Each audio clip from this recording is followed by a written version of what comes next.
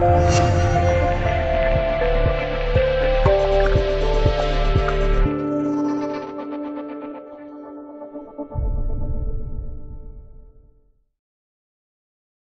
布拉多犬露西。据英国《每日邮报》报道，美国俄勒冈州一名水管工因为猥亵女孩被判入狱五十年。然而，案情因为一只拉布拉多犬的出现发生大反转。这只被女孩指认遭水管工射杀的狗狗死而复生，让他获无罪释放出狱。俄勒冈州雷蒙德市的水管工约书亚 （Joshua Honor） 去年被判性侵犯未成年人罪成，在审判过程中。未成年女孩趁亲眼看到约书亚将她的狗射杀，以威胁他不要报警。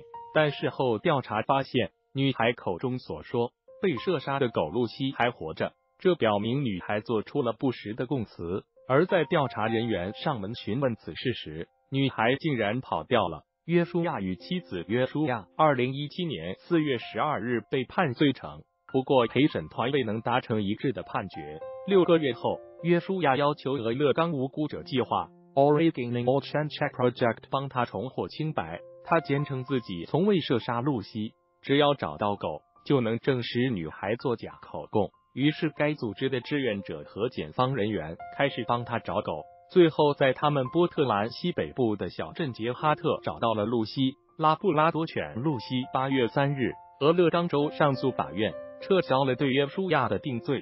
并下令重新审判之后，他终于走出了监狱。直到这周一九月十日，检方告知法庭，不能确定约书亚是否性侵了女孩，于是法官驳回了此案。约书亚就此案发布了一份声明，感谢俄勒冈无辜者计划家人和地方检察官克梅尔。不过他拒绝接受采访，他说还没有准备好面对新闻媒体。据悉。美国大多数儿童性侵案都没有直接证据，一个人是否应该被定罪，需要一些客观的东西。此案中，露西还活着，证明女孩撒了谎。原标题：男子猥亵未成年女孩被判入狱五十年，因一只狗翻案。